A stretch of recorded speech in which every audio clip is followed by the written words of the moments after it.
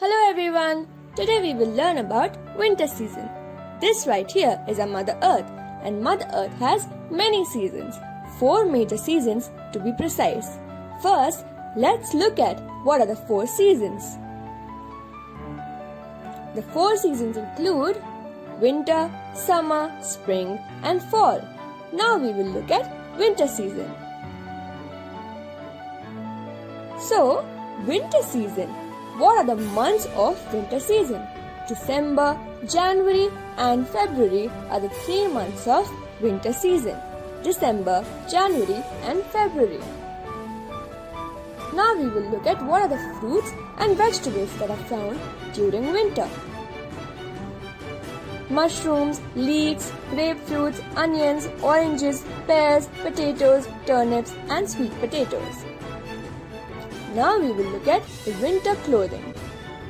It includes gloves, jackets, scarves, mittens, boots, socks, etc.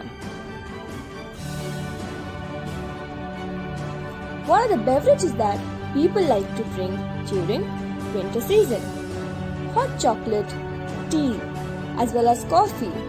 Hot tea as well as coffee are very popular as hot beverages that are consumed during winter season. Along with that, we will look at the popular foods during winter season. Soupy, hot, spicy things are popular during winter season, like this hot pot right here with a lot of boiled vegetables, which is good for your health and immune system.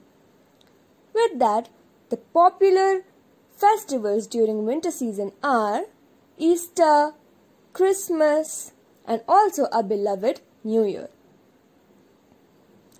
Stay warm and cozy during this winter season. Happy winter!